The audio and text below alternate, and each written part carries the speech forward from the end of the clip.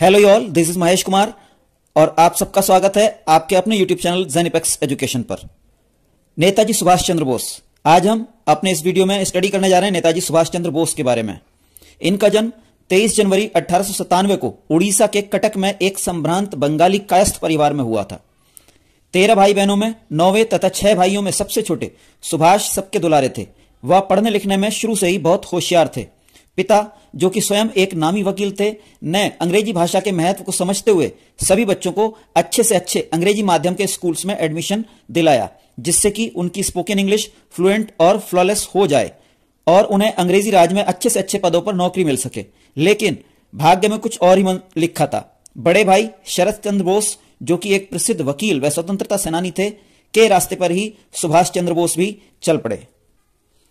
भगवत गीता रामायण व विवेकानंद जी के आदर्शों से प्रेरित सुभाष चंद्र बोस को अपने धर्म, संस्कृति व देश से बहुत प्यार था और इसका नमूना तब देखने को मिला जब 1916 में कलकत्ता यूनिवर्सिटी के एक गोरे प्रोफेसर ने भारतीय धर्म व संस्कृति की मज़ाक उड़ाई। इन्होंने अपने दो तीन साथियों को लेकर उसको अच्छे से धुन दिया और इसकी वजह से इनको रेस्टिकेट कर दिया गया। 1919-20 में सिविल सेवाओं की परीक्षा में इंग्लैंड में इन्होंने प्रारंभिक स्तर की परीक्षाओं को अच्छे से पास किया। किंतु फाइनल परीक्षा से पूर्व ही इन्हें एहसास हुआ कि इनके जीवन का उद्देश्य आईसीएस बनकर ब्रिटिश की सेवा करना नहीं है, बल्कि भारत माता की सेवा करना है। अतः अपने बड़े भाई को एक पत्र लिखकर इन्होंने सूचना दी कि वे आईसीएस भर्ती परीक्षाओं को बीच में ही छोड़ रहे हैं, माँ भारती की सेवा करने के लिए। 1921 में वे भारत बंबई पत्तन पर पहुँचे और जाकर सीधे गांधी जी से मिले। गांधी जी से पहली मुलाकात में वे ज़्यादा प्रभावित नहीं थे। फ़िलहाल उन्होंने कांग्रेस को ज्वाइन कर लिया और एक समाजवादी के रूप में अपनी पहचान बनाई। वरिष्ठ नेता व कानूनविद सी आर दास उनके मेंटोर बने। 1925 में इन्हें एक मामले में मांडले जेल भेज दिया गया, जहाँ इन्हें टीवी का इन्फेक्शन हो गया।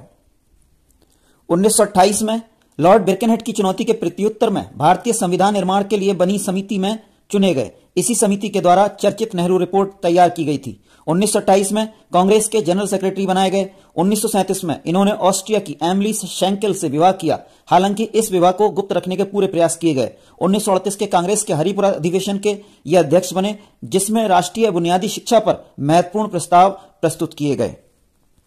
उन्नीस सौ उनतालीस में ये पुनः कांग्रेस के अध्यक्ष बने। गांधी जी के विरोध के बावजूद। किंतु बाद में इन्होंने अध्यक्ष पद से इस्तीफा दे दिया। और अपना अलग दल फॉरवर्ड ब्लॉक बनाया। द्वितीय विश्व युद्ध के दौरान इन्हें कलकत्ता में एल्गिन रोड स्थित निवास में नजरबंद कर दिया गया। किंतु नजरबंदी के दौरान ही इन्होंने दाढ़ी बढ़ा ली व एक दिन इंश्योरेंस एजेंट जियाउद्दीन पठान का रूप धरकर ये वहाँ से चुपचाप निकल गए। ये 17 जनवरी 1941 का दिन था। आगा खा थर्ड ने इनकी अफ़गानिस्तान में पहुँचने तथा वहाँ से रूस का पासपोर्ट हासिल करने में बहुत मदद की।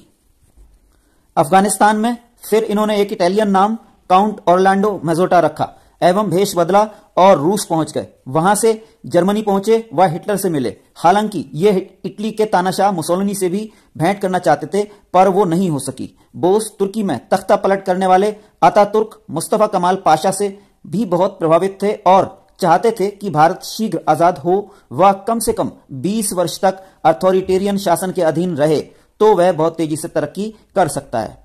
फ़िलहाल हिटलर से मिलकर इन्होंने उसके सैन्य अधिकारी एरविन रोमिल से तीन हज़ार से अधिक सैनिकों, जो कि युद्ध बंधक थे, की सहायता से फ्री इंडिया लीजन बनाई।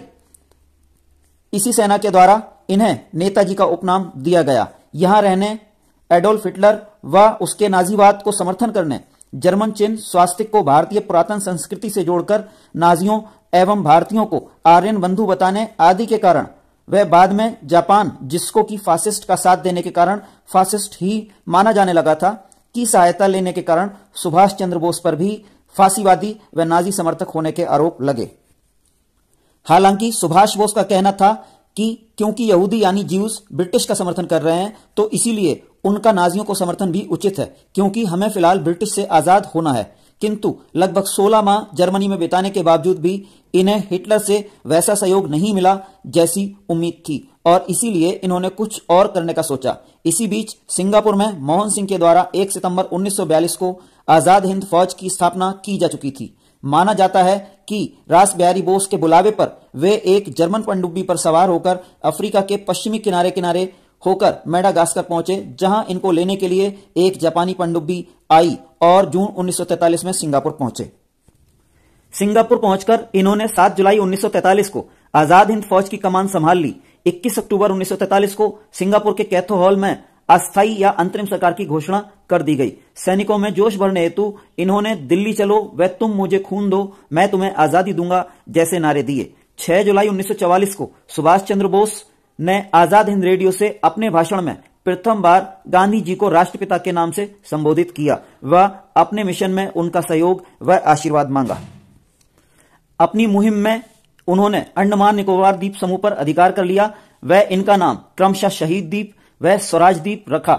इसके बाद उत्तर पूर्वी भारत में आगे बढ़ते हुए उनकी फौज ने कई महत्वपूर्ण जीतें हासिल की। किंतु द्वितीय विश्व युद्ध में जापान की हार के साथ ही परिस्थितियाँ पूरी तरह से बदल गईं। बाद में आज़ाद हिंद फौज ने भी सिंगापुर में समर्पण कर दिया तथा नेताजी ने यूएसएसआर यानी आज का रशिया जाने का फैसला किया। वे जापानी वायुसेना के एक विमान में सवार होकर वहाँ के लिए चले, किंतु तत्कालीन फॉर्मोसा आइलैंड व आधुनिक ताइवान के आकाश में उनका विमान खराब होने से वह क्रैश हो गया। वह नेताजी बुरी तरह से घायल हो गए। अस्पताल में इलाज के दौरान 14 अगस्त 1945 को भारत माता का ये सपूत सदा सदा के लिए चिर निद्रा में सो गया। उनके मृत शरीर को अंतिम संस्कार के लिए जापानी बौद्ध रैंकोजी मंदिर को सौंप दिया गया, जहाँ नेताजी के अवशेष आज भी सुरक्षित हैं। इतिहासकार लियोनार्ड ए. गॉर्डन ने उनके अंतिम समय के बारे में बहुत ही विस्तार से लिखा है।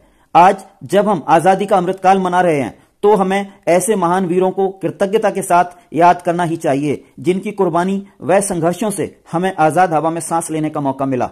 तो वीडियो का अंत उन्हीं के नारे के साथ। जय हिंद।